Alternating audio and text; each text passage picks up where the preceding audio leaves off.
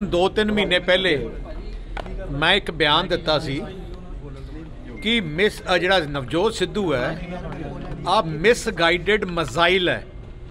ਇਹਦਾ ਪਤਾ ਨਹੀਂ ਕਿਹਦੇ ਤੇ ਡਿੱਗੂਗਾ ਤੇ ਕਿਹਨੂੰ ਮਾਰੂਗਾ। ਜਦੋਂ ਪ੍ਰਧਾਨ ਬਣਾਇਆ ਸਭ ਤੋਂ ਪਹਿਲੇ ਕੈਪਟਨ ਤੇ ਡਿੱਗਿਆ, ਕੈਪਟਨ ਨੂੰ ਤਬਾਹ ਕੀਤਾ ਤੇ ਹੁਣ ਕਾਂਗਰਸ, ਆਪਣੀ ਪਾਰਟੀ ਜਿਹਨੇ ਇਹਨੂੰ ਪ੍ਰਧਾਨ ਬਣਾਇਆ ਸੀ, ਕਾਂਗਰਸ ਪਾਰਟੀ ਤੇ ਡਿੱਗ ਪਿਆ। ਹੁਣ ਕਾਂਗਰਸ ਦਾ ਸਫਾਇਆ ਕਰਤਾ ਇਹਨੇ ਕੈਪਟਨ ਸਾਹਿਬ ਕਹਿ ਰਹੇ ਨੇ ਕਿ ਮੈਂ ਤਾਂ ਪਹਿਲਾਂ ਹੀ ਆਖਿਆ ਸੀਗਾ ਕਿ ਇਹ ਬੰਦਾ ਹੋਣਹਾਰ ਉਹ ਤਾਂ ਕਿਸ- ਮੈਂ ਮੈਂ ਵੀ ਤੁਹਾਨੂੰ ਪਹਿਲੇ ਕਿਹਾ ਸੀ। ਪੂਰਾ ਹਿੰਦ ਪੰਜਾਬ ਦਾ ਬੱਚਾ ਬੱਚਾ ਜਾਣਦਾ ਸਿੱਧੂ ਨੂੰ।